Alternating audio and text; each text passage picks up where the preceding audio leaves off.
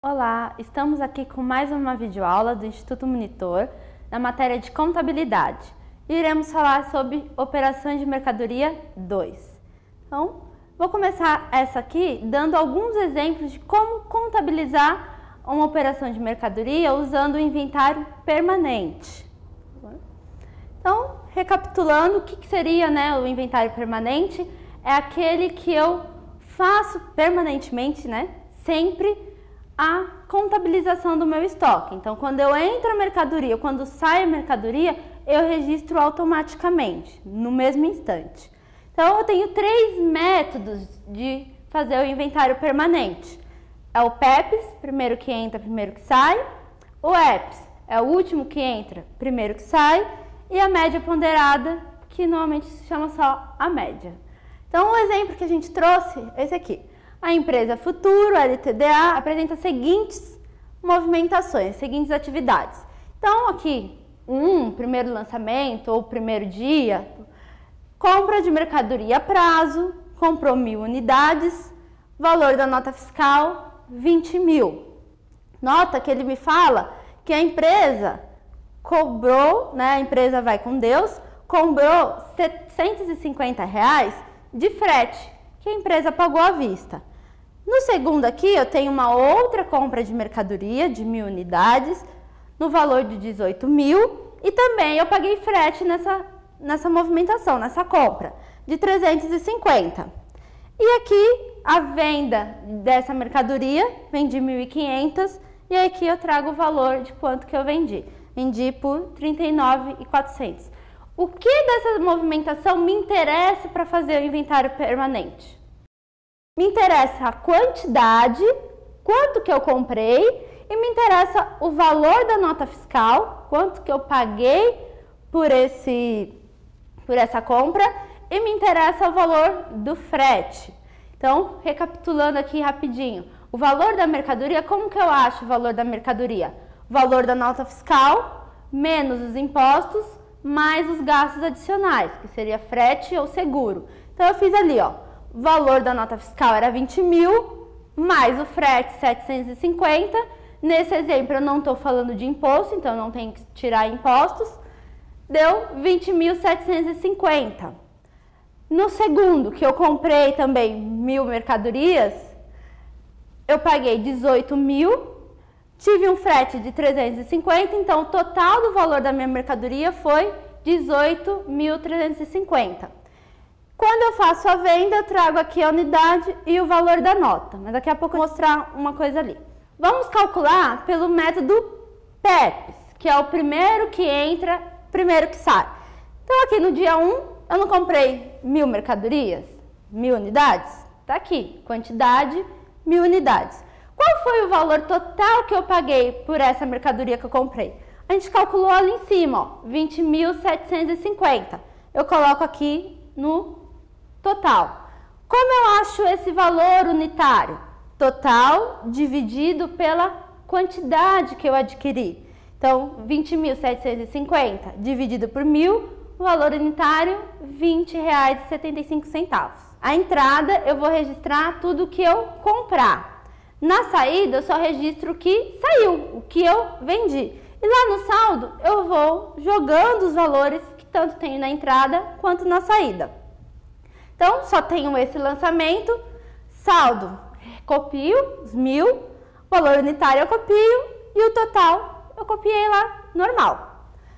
No segundo lançamento aqui, a gente teve mais uma compra de mil unidades. Então, eu venho aqui, coloco a quantidade, mil, total. Qual foi o total que eu paguei por essa mercadoria?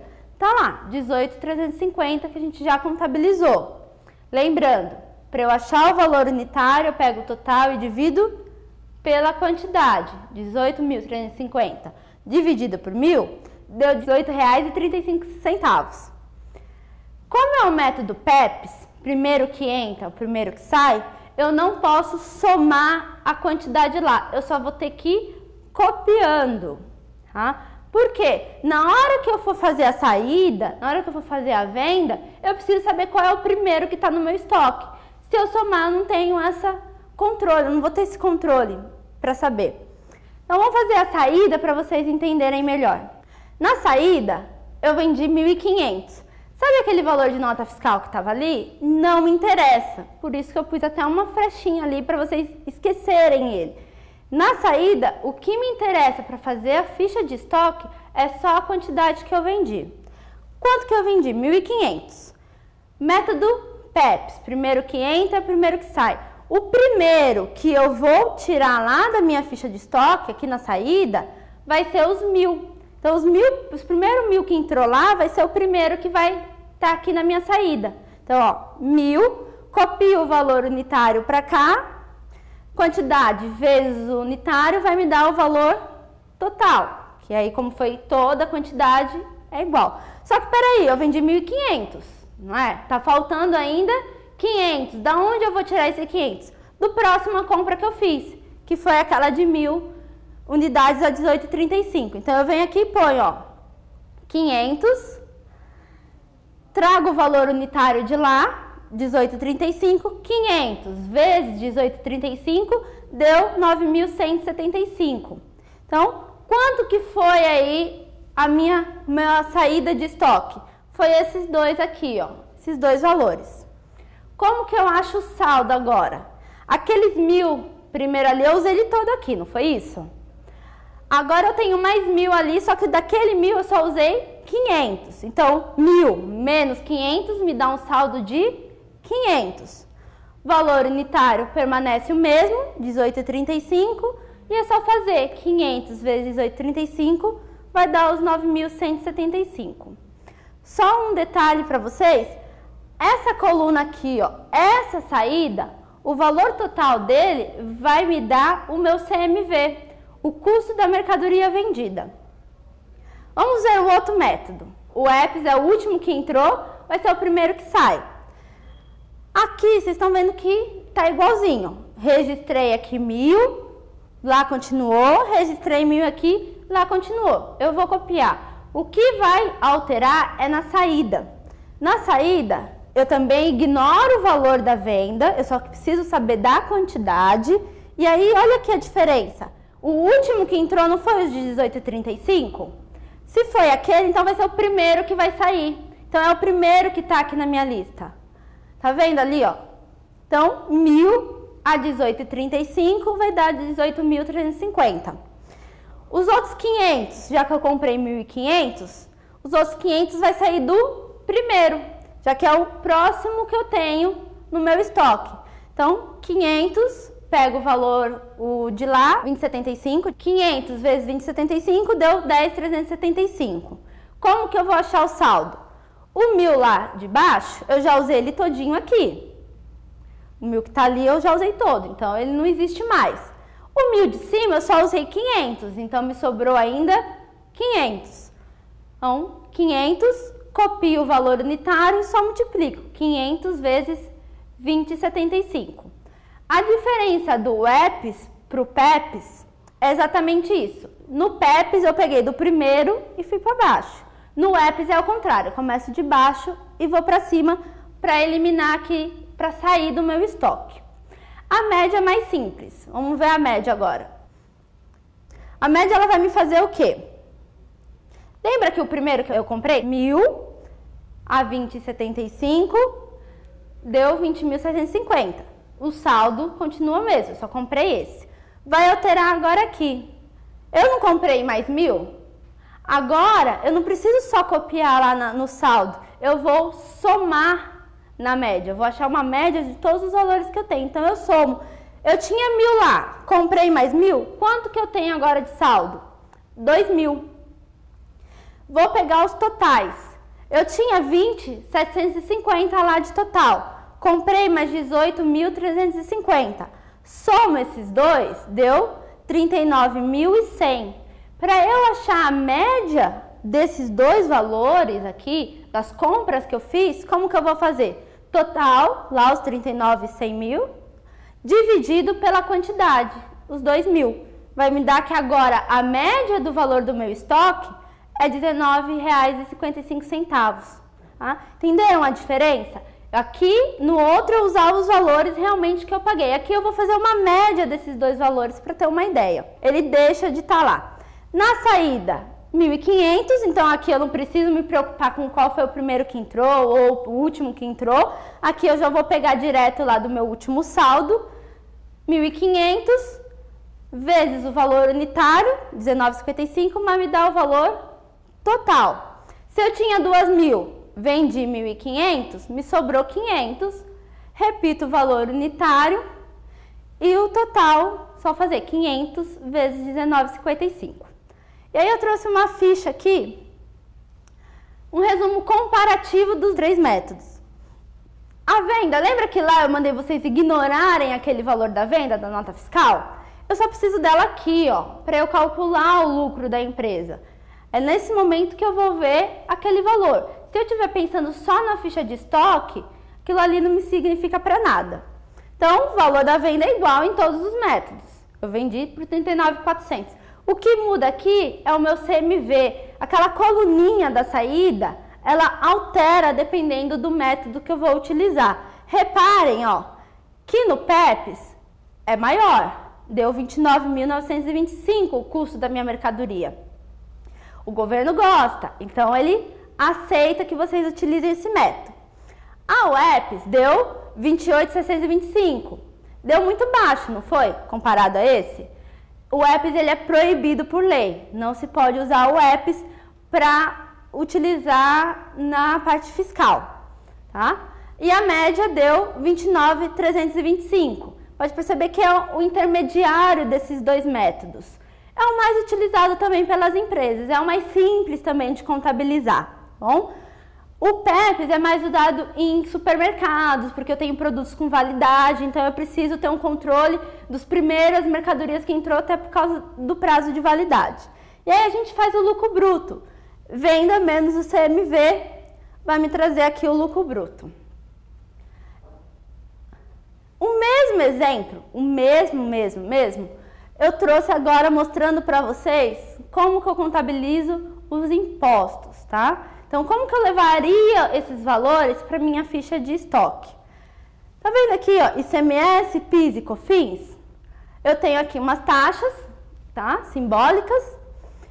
Como que eu vou contabilizar isso? Vou pegar o valor da nota fiscal e fazer 18% sobre os 20 mil, 1,65% sobre os 20 mil e o COFINS sobre os 20 mil.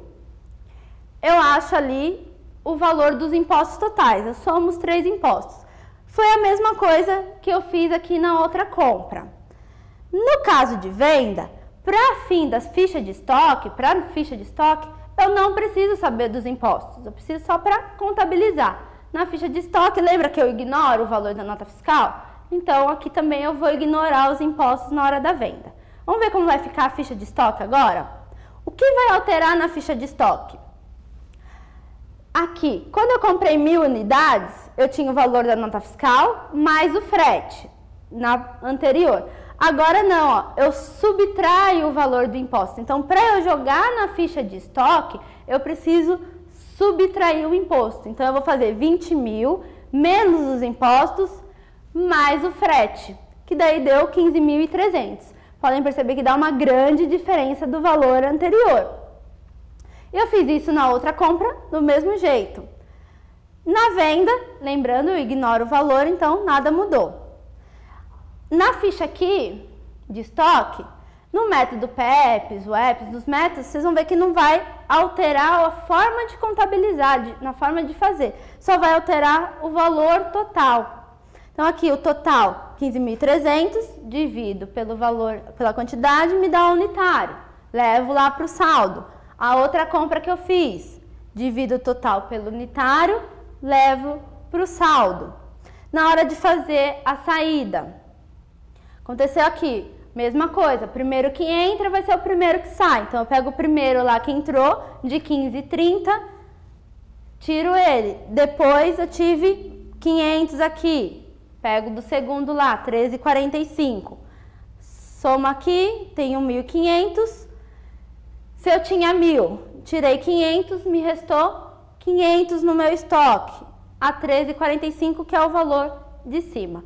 No método seguinte, no apps, também você podem ver até os valores agora, né? que altera exatamente o imposto. Então, o que vai alterar aqui são os meus totais nas compras. Só que continua a mesma coisa. O último que entrou vai ser o primeiro que vai sair aqui. E o primeiro lá vai ser o último aqui. Então, eu faço 500 menos 1.000, sobrou 500. Como é o do de cima, o meu saldo unitário vai ser 15,30. E na média, aqui na média, o que, que vai me alterar é a média dessas compras. Eu comprei, tinha 15,300, comprei mais 13.445. Fiquei com 28.745. Divido por 2.000, deu 14,37 o valor unitário. Quando eu vendi, eu vou usar aquele saldo final e vou jogar para cá. Então, 1.500 vezes 14,37. Dica: sempre usem quatro casas depois da vírgula, porque se vocês usarem assim quebradinho, ele vai dar um valor muito longe do real. Quando eu contabilizei isso em casa, bonitinho, eu usei as quatro casas depois da vírgula, tá? É que aqui o espaço ficou pequenininho. Então, tinha lá 2.000, vendi 1.500, fiquei com 500. O valor unitário continua, e aí eu faço 500 vezes 14,37, deu 7.186. E agora o nosso código comparativo. Percebem que o CMV, ele deu bem abaixo. Por quê? Por causa dos impostos que a gente subtraiu do valor da mercadoria. Esses impostos, não esqueçam, ele não vai deixar de existir, mas ele já vai ser contabilizado direto lá na DRE, na demonstração do resultado. Então aqui o que alterou foi isso, mas continua a mesma coisa. A PEPS é o de maior valor, possui meu maior CMV, e a média é o que fica intermediária dos dois, tá bom? Muito obrigada. Estamos encerrando mais uma videoaula do Instituto Monitor da matéria de Contabilidade e Operação de Mercadoria 2.